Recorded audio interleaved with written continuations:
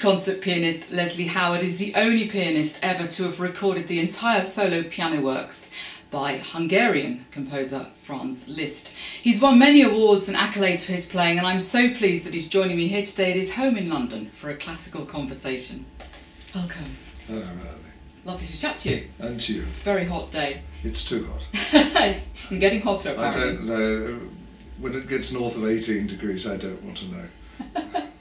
Well, I want, I want to start by asking you all about your education, how old you were when you started, whether you come from a musical family, what was the catalyst? Um, I suppose really the catalyst were, well, there were two. Um, there was a piano in the house on which my mum had had a few lessons when she was a teenager, but um, let's just say it didn't take. Um, and my dad, who was a very enthusiastic listener and had done a bit of music hall singing in his youth, but um, but no musicians in the family. Hmm. But then I'm the first of four siblings, and we were all musicians of one sort or another.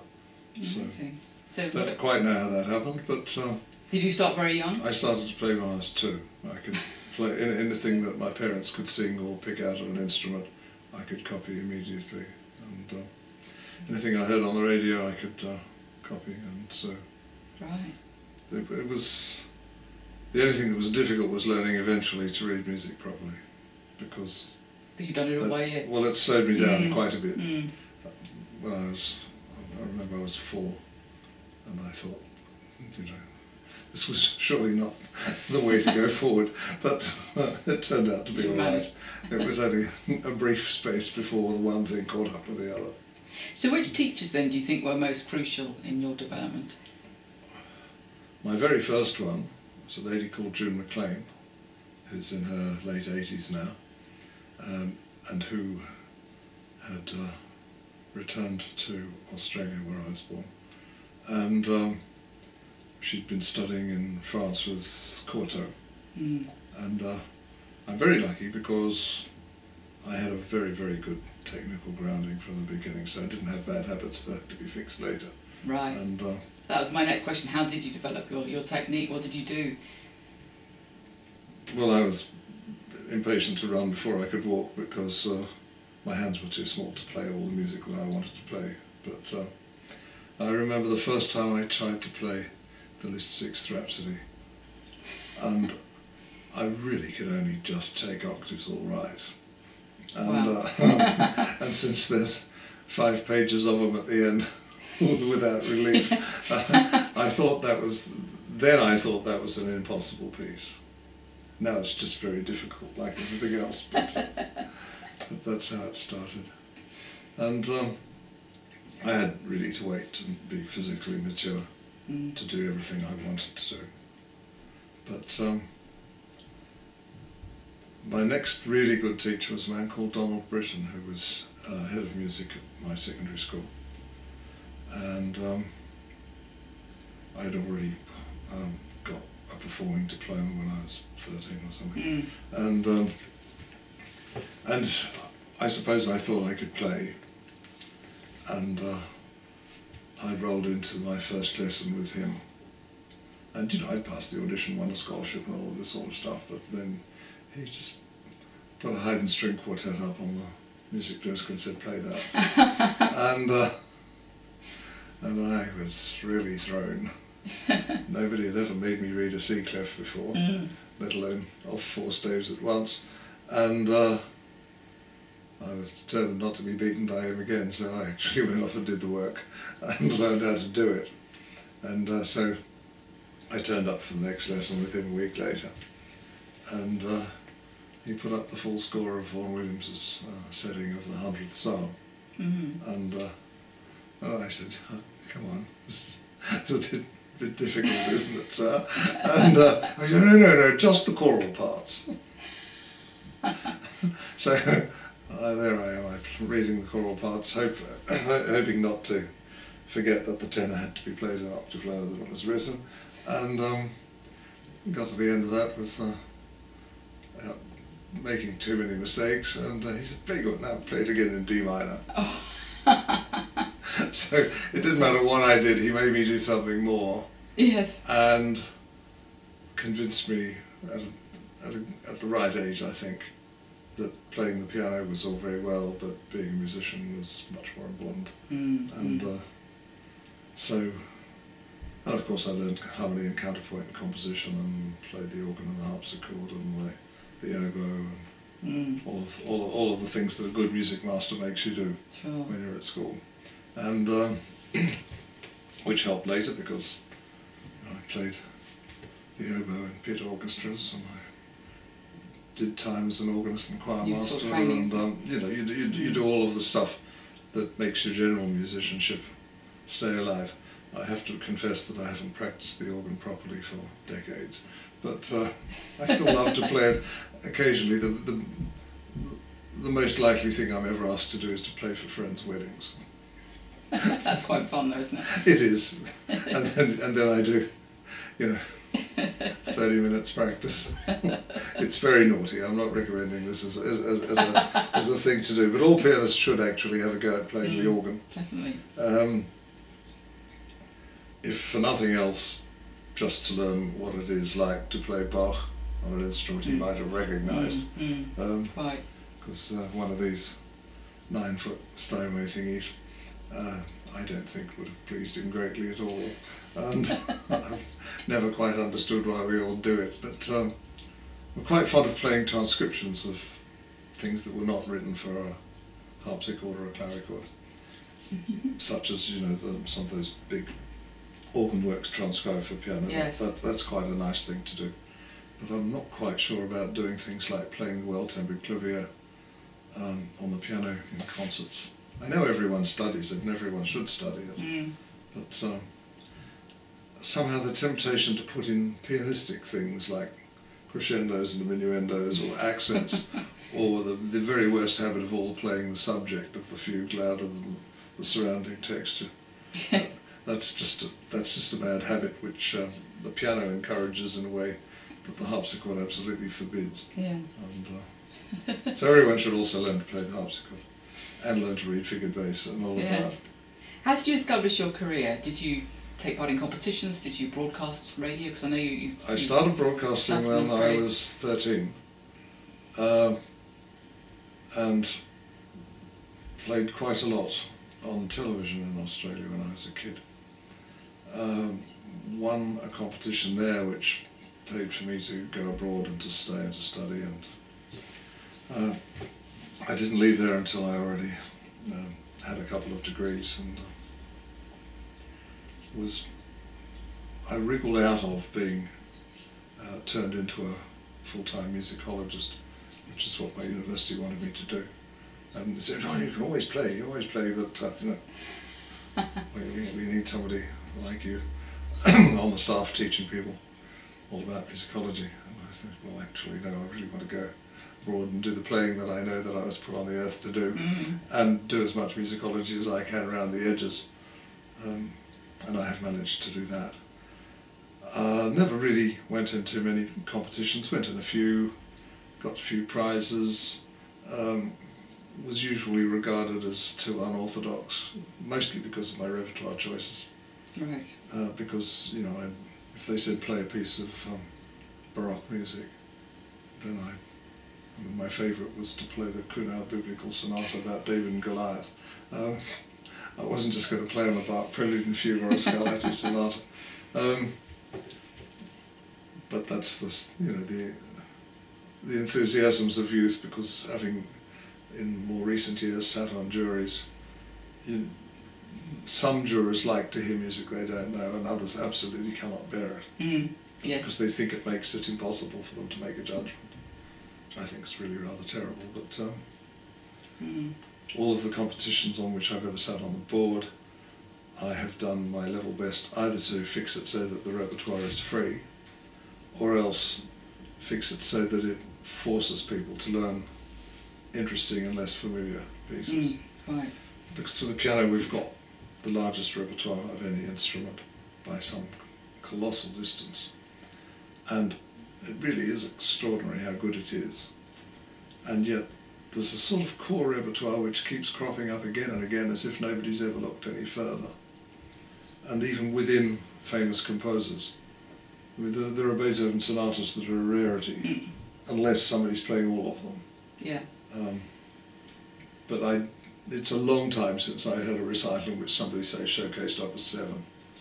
Um, you know, they went proud, and the number of young people now who almost the first Beethoven sonata they learn is the last one he wrote.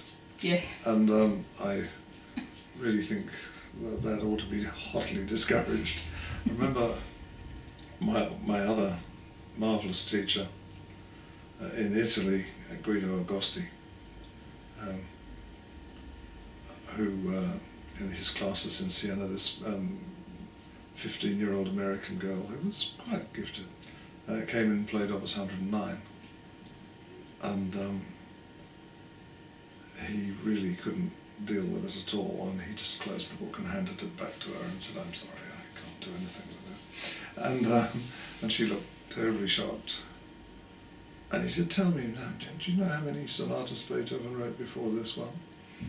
And uh, she had a rough stab, but it wasn't bad. And, and he said, "And how many of those have you studied?" Oh, uh, one. Oh, well, when you've learned the other 29, please bring this one back. and, and no, no, he, he was, but he was quite right.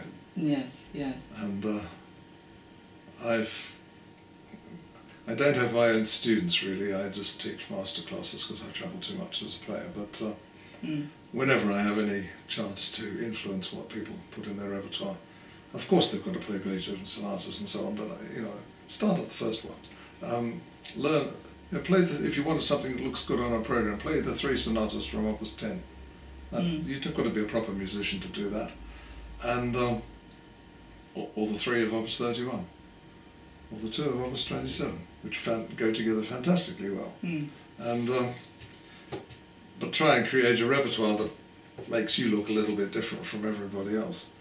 Because all of these people who do competition where you have to play a prelude and fugue and four studies and a Beethoven sonata and blah blah blah um, they all play the same stuff and there isn't the work out there for them so you know they, they get Mm. concerts as a result of winning a competition. But those concerts are predicated on the winner of the competition not on the person. So when the competition comes around again, somebody else gets those concerts. Mm. And establishing yourself in the business is a lot harder. And um, I was very lucky, firstly, to be asked to make recordings when I was only in my mid 20s. And that was also back in the day when you know you part, you did the BBC audition, which you eventually passed, and then Mm. I used to get a dozen broadcasts a year, um, and you'd go into a BBC studio. There aren't these things anymore, um, specifically designed for performing, like the Concert Hall Broadcasting House, which no longer is a concert hall, Mm. or the, the marvellous studios at Pebble Mill. Uh, but I record oh, all the BBC studios up and down the country. Sure, I've, I've sure. recorded. Um, but uh, but I was being asked to do this because I actually had pursued an interesting repertoire. Mm. If all I had to offer was the Appassionata, I would never have gotten. No, no. Um, and it wasn't just because I was playing Liszt, but it was because I was playing a lot of Haydn and a lot of lesser known Beethoven and uh, Yeah. other lesser known composers, but, but things that, well, things which, which people play now but they didn't play then, like the, the Rachmaninoff sonatas in the 1970s, they were, they were fairly rare, especially the first one. Um, the Glazunov sonatas, which I recorded in 1975. Love to do them again now, but um, I couldn't possibly listen to that. Uh, I don't listen to any of my records anyway, but I'm, I'm not alone in that. Most, most performers don't. No, no. But, um, Well, tell us a little bit about the Liszt project because it's quite an achievement to have recorded all the solo works Well- by Liszt. that started really because I was completely hooked on him from the first time I heard some of his orchestral music. Had, had nothing to do with the piano at all. Mm. I heard a live performance of the Faust Symphony when I was about 13, and I just thought this is the most amazing piece. And um, Yeah. and so I, I, I started looking for his music and then found out how much there was that wasn't piano music. And, um, you know, took a close interest in all of it. I played his organ works and uh, got involved in conducting some of the choral pieces and uh, got busy with him, and the, the more I looked, the more interesting a composer he became. Mm. And um, I kept on reading the odd rude remark about him written by all sorts of musical pundits. And it usually transpired that what they really didn't like was the way young piano players played Liszt's music rather than Liszt's music itself, though they Mm. blamed Liszt for writing the music that made them play that way. Um, but I don't think Liszt's music actually asks you to play in a vulgar or nasty fashion. Um, and I, you know, it it sometimes comes as a surprise when you tell people, you know, there's Liszt wrote over 3,000 pieces of one sort or another for all sorts and conditions of instruments Mm. or voices, um, of which 1,400 are for piano. Out of these 1,400, there's about 50 that are in standard regular circulation. That's true. And, um, and a lot of the performances don't actually show any depth of understanding of, of the composer at all. And I think people need to look a bit wider. It distresses me that people want to play the sonata either as the first piece of Liszt they learn or as the second piece of Liszt they learn. Mm. And you think, you know, you would play this piece a lot better if you studied the Grosses Concert Solo or the Scherzo and March or the Weinen Klagen Variations or, uh, you know, there's, there's, there's lots of the Sarabande and Chaconne, the Benediction de Dieu, and they're just surprised to find out that uh, Liszt wrote more quiet pieces than loud ones, more slow pieces than fast ones, and um, many, many more of his pieces in softly than quietly, than, than loudly. Yes. And um, but there's no excuse now. I'm, I'm happy to have played some part in this. Um, And it goes into 99 CDs, is that right? It does. Recordings? well, I beat the Liszt edition, uh, which is in Budapest, to recording this music before they published it all. Oh, Um, okay. Well, they started printing these volumes in 1968, but it's been quite slow. It's it's it's a good edition, but um, I just always wanted some of the, you know, the, instead of starting with the things that everybody had in their collections, Mm. they really should have started right in with the things that you could you couldn't find anywhere. That would have been better, and then they would have had more subscribers, and it would have sold faster, and it would have been better financed. But um, to start with, they wanted to uh, print only the final versions of Liszt's music. Anyone who's had a good look at Liszt will know that he was an inveterate reviser of his works. Mm. Um, sometimes it's because he wanted to thin it out technically. Sometimes that was because of the, the much increased heaviness of the piano touch by the time he got to his middle life, as distinct from the, the, the instruments that he played when he was actually on stage. Most people don't remember that his great career as a solo player only lasted for about nine years Mm. and um, that he gave up um, in 1847. So that's before the first Steinway was built by some distance.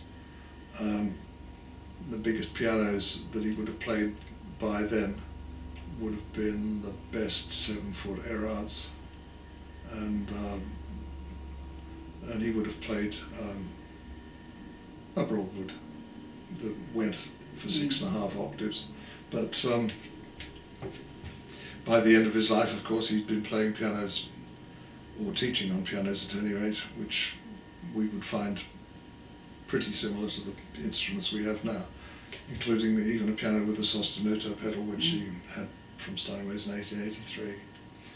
Um, it's trying to recreate the sort of playing that he must have been able to do is quite hard because it's clear that all of the things with the superhuman difficulties that he wrote when he was in his early 20s really didn't cost him any physical effort at all.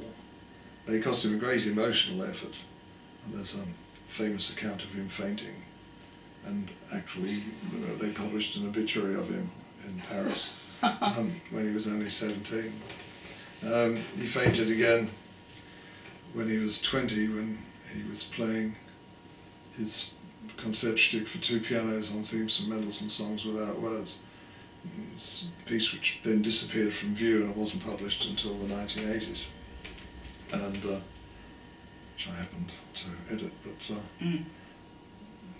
I recorded that for the BBC with Ian Munro, 19, 1987 or something. Um, and uh, although it's a taxing piece, uh, there was no sign of anyone fainting. uh, and uh, you know, but Lister, when he last played it, he had to be carried off on a stretcher. So, so he must have got very involved with what he was Yes. doing.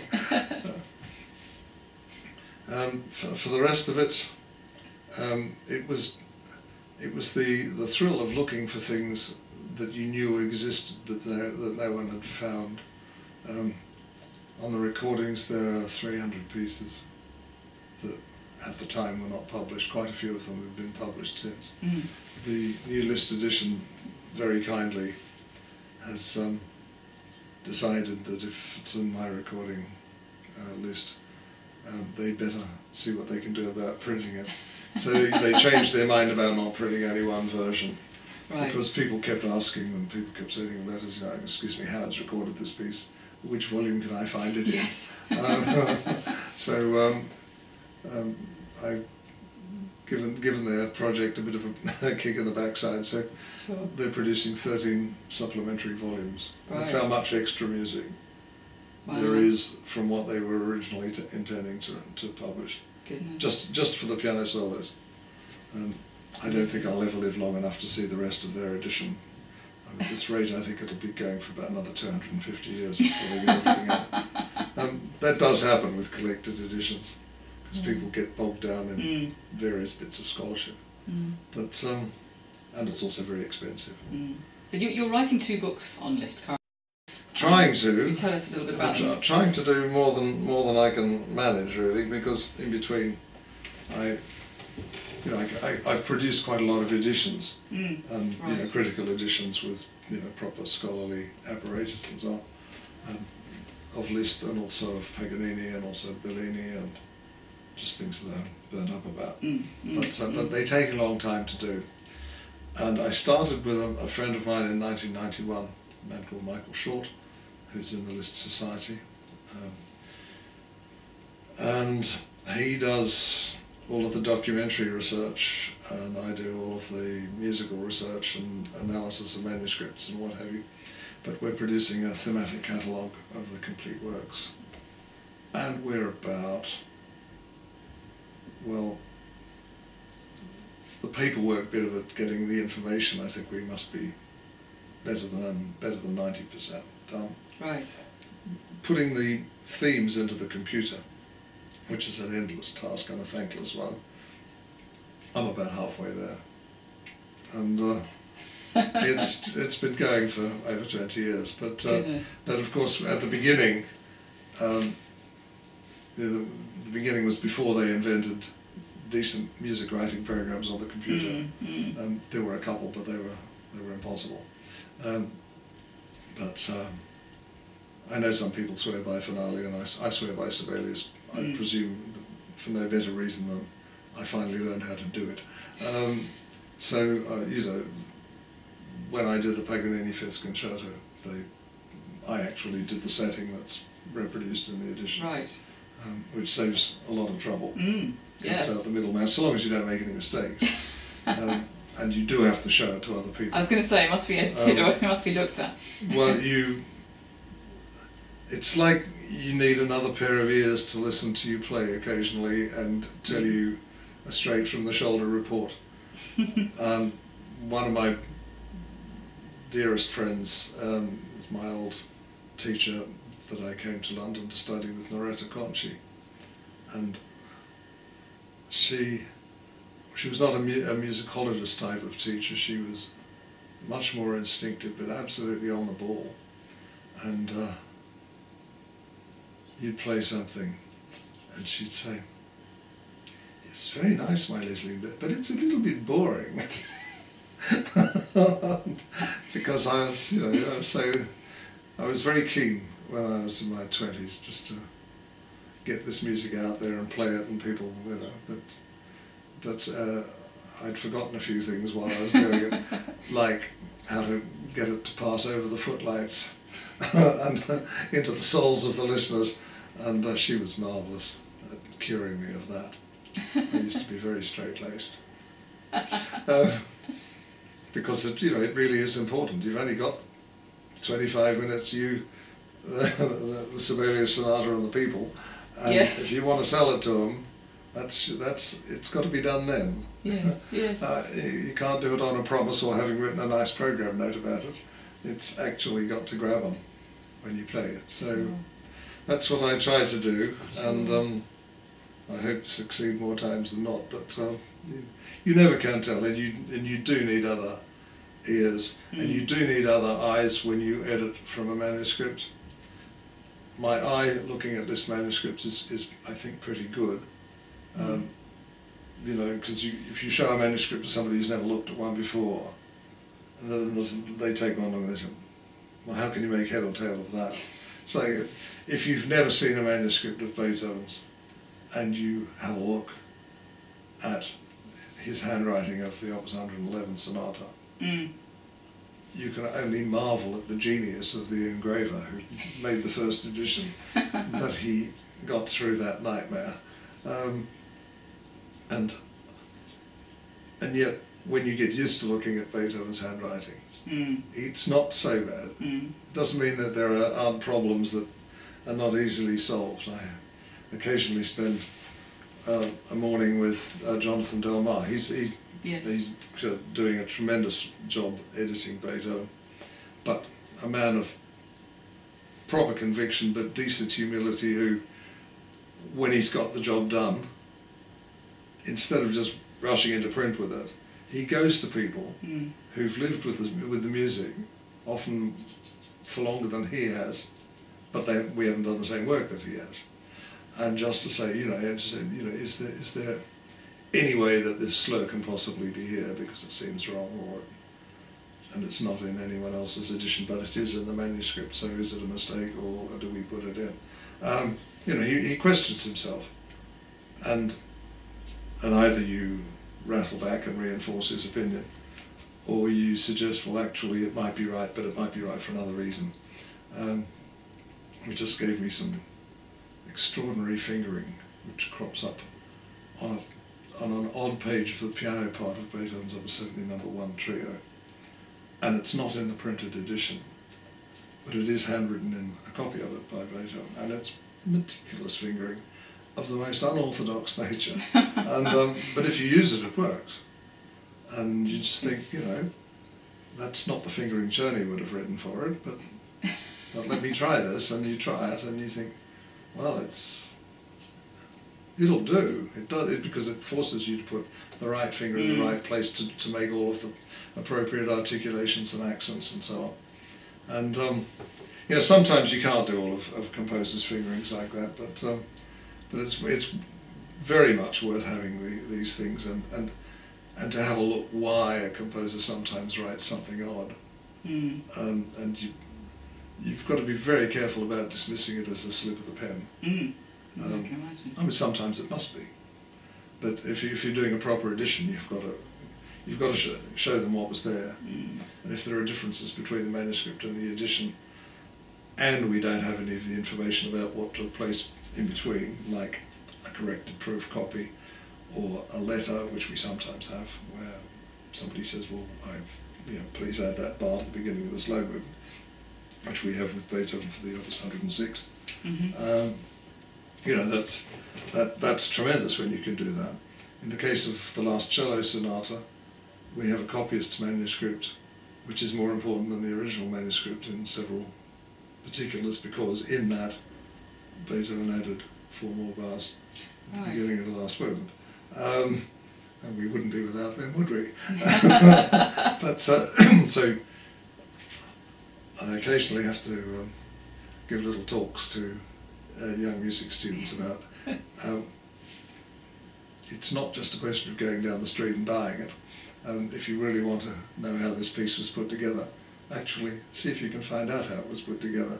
See if there is a, is a manuscript that you can look at because it will force you to think about the real way this music came into being Mm. and um, that might actually help you when you're playing. It's not because you're just there to discover that there might be a wrong note in bar 33 that nobody's found before, um, though that sometimes happens, but it's just to immerse yourself in something of the creative process behind the piece. And um, I always tell people to do that, to have a look and see what else the composer was writing around the same time, and then see what other composers were writing at the same time that your composer might have known. Mm. Um, apart from anything else, it's fun. Yes. I mean, it's as, it's, it's as entertaining as following any soap on television uh, to, to, to know. Well, sometimes people look, look at their, their subject very narrowly. And, um, and of course, there's so much information in the world about so many things, it's harder and harder to be a Renaissance man. But, um, but you know, music isn't created independently of social history or of political history sometimes. And it's worth it to know what it was like, to find out, you know, what was the temperature like in the concert hall? Um, you know, what did it smell like? Um, Can really recreate it? uh, well, you know, but it, you you can't you can't actually do this, but you can't do everything. But it's worth knowing as much as you can about the circumstances, Mm. and knowing knowing as people quite often forget that a sonata that was premiered, say by Mozart, would very often have its movements played separated one from the other by other other events going on in the evening. Same with his string quartets and symphonies and Mm, concertos. yes. And if people liked it, they might clap in the middle of a movement, and they might get the movement to be repeated. Um, you know, it's a completely different way of doing things from how we I play was it going to say quite different from today. Well, we're so we're so reverent, as we should be, in the face of some of these pieces. But uh, you know, they would have. Been, we all know that even even a work so magnificent as Beethoven's Violin Concerto, um, just in case the audience had fallen off in the middle, um, the uh, violinist at the first performance um, gave some uh, impromptu improvisations imitating the sounds of farm animals on his instrument, just to keep the public amused before he went on to the slow bit. And um, you know that's barbaric. But uh, but but they were frightened that people wouldn't stay paying attention to this Mm. concerto, which was of course for its time far and away the longest violin concerto ever written. Mm. And um, it's one of those pieces that's just perfect. Mm. And you know, if it could go on for, for another twenty minutes, you'd be quite happy. Uh, it's uh, it's uh, you know. But but you know, Beethoven was taking risks. He took colossal risks with all sorts of things. He he had this tremendous strength of knowing that he was right, Yeah. and it yeah. comes out in his letters all over the place. Even when he was wrong, of course, because when he was wrong, he was magnificently wrong, and he, he was magnanimous in his apologies afterwards if he offended somebody. But it would have been like walking a tightrope to be his friend. Because, you know, he- if, if, if anyone said the wrong thing or did, in his eyes, the wrong thing, he would be Mm. as firm and rude as you could ever possibly imagine anyone being. And then, then he would uh, calm down. What about what about future concerts and recordings? What have you got coming up? Um, the next recording is one I did in Italy, and um, it's with a friend of mine called Mattia Ometto, and we recorded all of the two piano music by uh, Reynaldo Hahn. Now, Reynaldo Hahn, people, I'm sure these days know some of the songs, um, but there's a marvelous piano quintet, and there's a piano concerto, and there's all sorts of good stuff. And um, very interesting composer Mm. um, who could also sing and who in fact recorded accompanying himself. Um, and he came from Venezuela, but he's essentially French.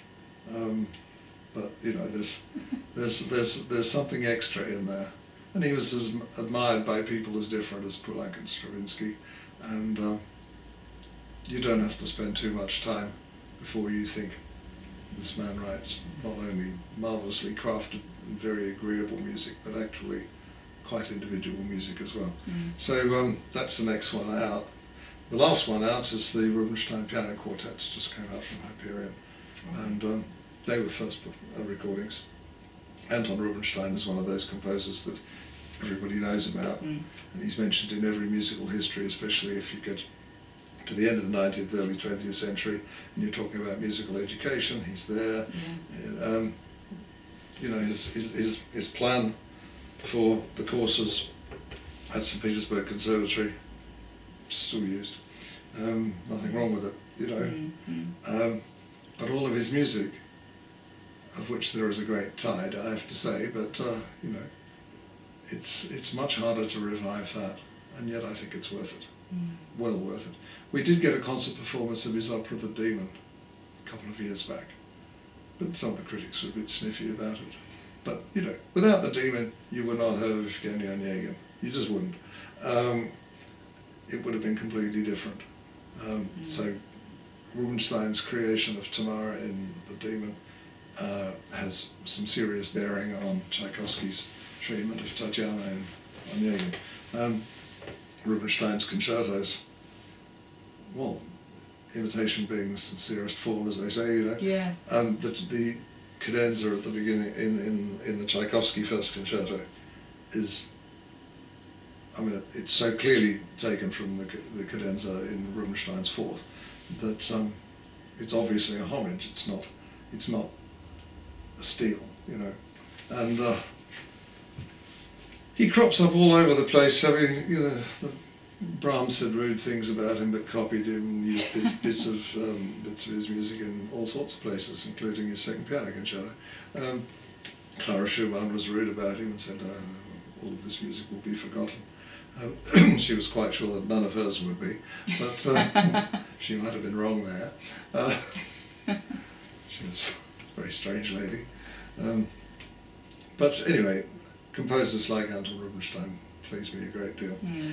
And next year will be the 150th anniversaries of Sibelius and Glazunov, and of Nielsen for that matter. Um, but I'm trying to get in there first. Um, so I'm doing Sibelius and Glazunov sonatas at Wigmore in September. Right. And I'm doing them in a few festivals on the continent before that. hmm And um, I love that stuff. Mm. It's marvellously written. Almost nobody knows that Sibelius wrote piano music, but there's over 200 piano pieces by Sibelius. Yeah. Um, and people don't play them, no. really. It's like the Dvorak piano music, there's more than 200 pieces of his. Or the Rossini piano music, there's more, two, more than 200 And pieces of Nielsen, his. I, I used to love playing the Nielsen. Not not that so many Mhm. play that. Well, the, su- the suite by Nielsen I haven't heard played live since John Ogdon did it, and that's a while ago.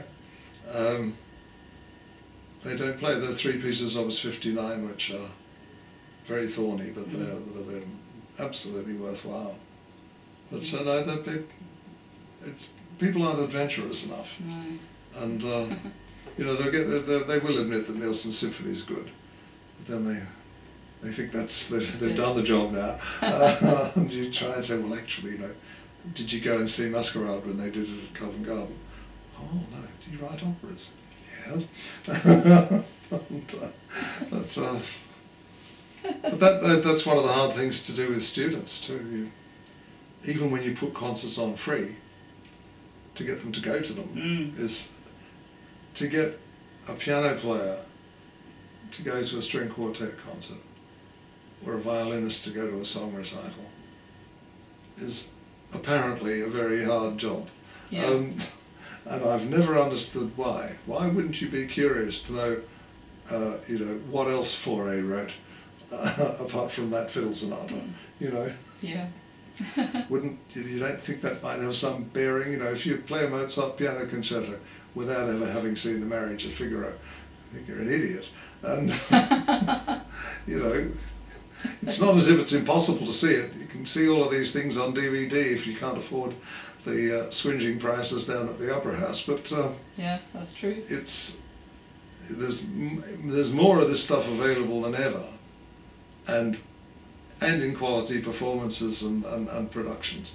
So there's there's really no excuse. Mm. And how can you play a Haydn piano sonata if you don't know his trios or his quartets? And uh, you can't. But um, well, you can, but uh, not in an informed way. Let's say. I like people to be informed. Then they can be spontaneous and original. but first, be informed. What does playing the piano mean to you? Uh, it's not the only way I think about music. I mean, for example, I never compose at the piano, I always compose. in the old days at a desk with pen and paper, and these days straight into the computer. But um, but the piano is a great place to go when I want to improvise and when I want to play just to myself.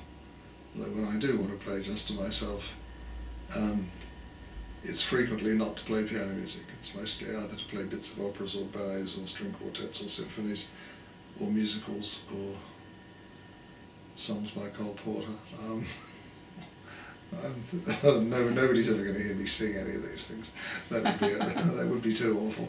But uh, but I get a lot of pleasure from old older popular music. I think popular music today isn't just isn't a patch on the general standard of musical nous that popular composers had in the 30s, 40s, mm, and 50s. Oh yeah. No, they were properly educated people. They knew what a consecutive fifth was and how to avoid it. They knew how to make modulations. They knew how to manipulate the, the most amazing harmonies. Um, you know, you, from every, everybody from Jerome Kern to Duke Ellington. Um, there's just buckets to learn from those people. Mm. And pop music on the whole doesn't have you, certainly doesn't have me, um, agog with curiosity, which is where I'd like to be with most music. You know, what's, what's he going to do next? Isn't that amazing? Isn't that extraordinary? And half the time you know perfectly well what they're going to do next. when I say next, I mean for the next five minutes. you know. Yes. And you just think a little bit of imagination would have helped there. and I'm not quite sure why the pop group as a sort of core thing has developed so little over the last 40 years. You'd think there would have been room mm. for a lot more. I know around the fringes there's a lot more going on, but you know the, the, the mainstream stuff seems to be uh, very, very conservative. Mm. Yeah. It's extraordinary, isn't it? and harmonically less interesting than before, and rhythmically much less interesting than before. You know, when, when the Beatles came out, they you know they write songs that started in four four that would go into three four in the middle, and you know they, they did musical things that kept you absolutely on the edge of your chair, and very intelligently written and nicely harmonised, and you know the, the and they used string quartet, and, you know, all of the things they did. Mm. They used the sitar, uh, and it wasn't an experiment. It was actually a musical idea that they put into practice. And um, I always think that there's been a lot less of that since, and, uh, and that's that's really a pity. But it's also why their stuff is still appreciated and bought and recorded, re-recorded and all of that. Enjoyed. Yes. Mm. Well, most people who are under the age of, well, to have heard them. It's, it's 46 years ago, isn't it? it's, it's, a while. 44, sorry. But uh, it's, uh, that's strange. And, you know, always fascinated by uh, listening to old recordings of classical music too because we forget sometimes that it wasn't always played the way we play it mm. now. That's very true. And uh, and the things that I remember laughing intemperately at Alfred Cortot's wrong notes. You can't do that. Um, you know, you think about the way they used to record those things. Mm. You know, it's amazing if nobody played a wrong note or, or fluffed a pedal or yes. made a, a, an extraneous noise or what have you. And of course, we're not allowed to do that. No. Can't leave a wrong note on a record. Um, because, you know, there is a difference in what, in giving a solid performance and, uh, you know, what you do in a concert. The concerts and recordings, the hardest thing in a recording is to try to recreate what you do in a concert hall. And mm. it, you know, you've got to stop and analyze what you do in the concert hall, and then sometimes you've got to watch out because you can you can play all the right notes because you're just a bit timid about making mistakes in a recording session. And what comes out is a document. you know, all the notes, ladies and gentlemen. Uh, we didn't have enough time to put the music in, but you know, a lot of recordings because of the constraints and people being frightened and there not Mm. being enough time to make a CD. You know, when, when recorded a double-sided 10-inch 78, he had a whole day or even two days to do it. So he could stop, the machine be off, he could practice for an hour and then he said, okay, let's, let's do a take. Um, he also got paid, even in strict monetary terms, more for one side than, than most people get for making five CDs now. Uh, I'm sure. and that's, that's without allowing for the difference in the currency rate. So, add two zeros. Uh, it's, uh, but they knew, they knew that, that they had, they knew every time he went into the studio he was going to make a, Yeah. a recording that was going to sell, Of course. because it was going to be marvellous. Mm. Mm. And like to see anyone brave enough to say that his recordings are not marvellous. So I Best think, ever, probably. I think he's the best. I Yeah. think he's the best player who Best recorded. player ever. Yeah. Yeah. Who knows what Liszt's records might have been like, but uh, Pretty phenomenal. but we know about Rachmaninoff's records, and also because Rachmaninoff knew how to work in a studio, Yes. and uh, on most recordings from that era, the matrix number gives the take number at the end, and we'd be embarrassed if all our take numbers were published. I mean, Some of it is because you had to avoid the bird flying around inside the church, or the uh, tractor outside, or the ambulance siren, or whatever, Mm. or mostly the aeroplane, um, Yeah. because we don't really have soundproof studios. Um, but uh, you look at all of those one-off recordings, and the number of issued takes that are take one or take two, just it's just impressive Mm. to a degree. It means he didn't record it until he knew he was going to do the performance. So that if you ever take more than that, you can get a peculiar idea of what a bad day at the office for him might have been like. Most notably his transcription of um, the scherzo from Midsummer Night's Dream. I think the issued take is 21.